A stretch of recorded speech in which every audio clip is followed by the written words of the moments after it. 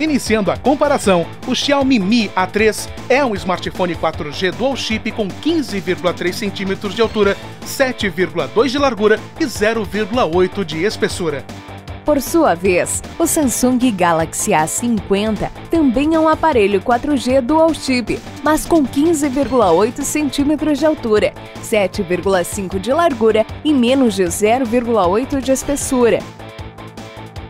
Na parte da frente, o Mi A3 tem display infinito de 6 polegadas HD+, o sensor de digitais na tela e a câmera frontal de 32 megapixels.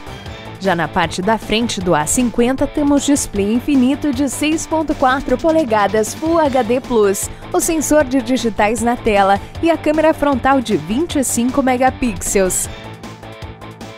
Agora, na parte traseira do Mi A3 vem a câmera principal tripla de 48, 8 e 2 megapixels com flash. Enquanto isso, a parte traseira do A50 traz a câmera principal tripla de 25, 8 e 5 megapixels com flash.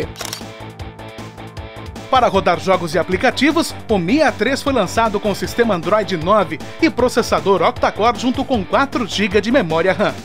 Já o A50 também vem com Android 9 e processador octa-core ligado com 4 GB de RAM.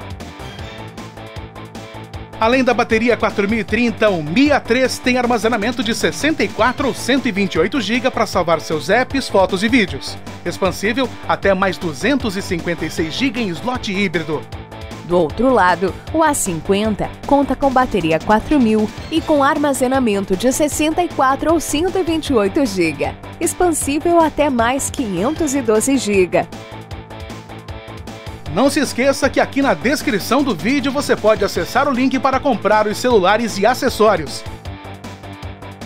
E para terminar, os destaques finais do Mi A3 são o Android One com atualizações constantes para a versão mais recente do Android, as câmeras com inteligência artificial e as funções de desbloqueio por reconhecimento facial e controle remoto.